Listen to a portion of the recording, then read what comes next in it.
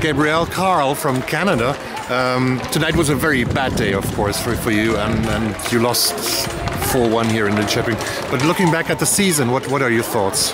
Because this was your first time in Sweden. You played 21 games, I think. Yeah. Yeah. Um, obviously, these past few games haven't gone our way, uh, and we had big goals for ourselves this season. Mm-hmm. Uh, I think overall we had a fantastic season.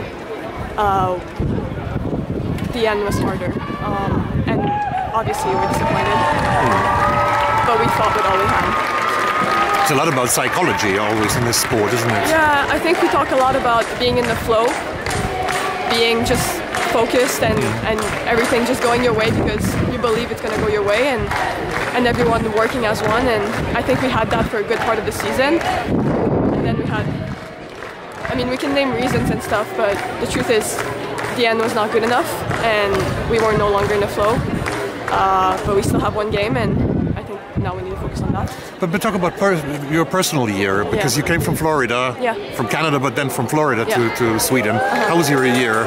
the first year internationally outside yes. North America. Yeah, um, it was amazing. Uh, for me, picking KDFF in the Swedish league was probably one of my best choices. Uh, I've been so happy, uh, and I also love the Swedish league. Uh, I really, really enjoyed my first year here. Um, it was really great, yeah. How different is it from playing in, in North America? Um, I, I, talked to Evelyn earlier, uh, this, uh, and she said that she had problems playing in the US. She didn't want to play in the US. Yeah, yeah, yeah. Uh, I think I expected the leagues to be completely different, uh, but then I got to Sweden and I realized that uh, I'd say Sweden is, is quite physical too. I think the North American leagues are, are known for that, and Sweden honestly is too.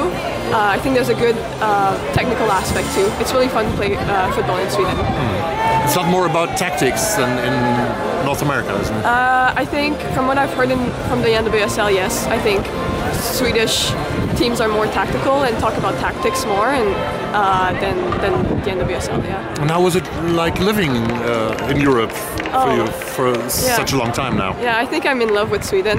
okay. I love it so much here. Yeah, it's it's really nice. And you live in a small town. Yes, but I was I was warned that it was a small town. Mm. Then I got there and I also fell in love with the town. Mm. I think it's very charming and it's really nice to have that that small town feeling and. Mm it's yeah. I think the people are fun. Um, yeah, I had a great have a great time. Yeah. And what, what language are you speaking in, in, in the team? That's English, isn't it? Yes, Probably. for the most part.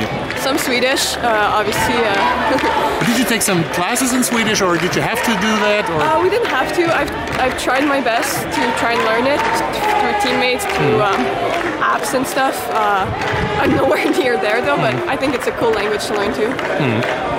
And uh, you have another contract over next year. Evelyn has already signed for next year. Yeah, yeah, yeah. Uh, How about you? No, not yet. Uh, we'll see. Yeah. Ongoing talks. Ongoing, yeah. Okay. And next year, obviously, there's a World Cup in Australia, and you're going to play Ireland, uh, Nigeria, and Australia. Yes.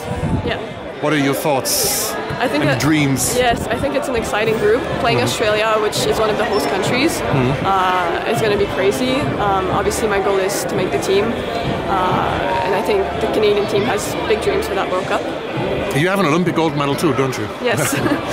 where, where do you keep that? Oh, it travels with me everywhere I go. I don't part ways with it.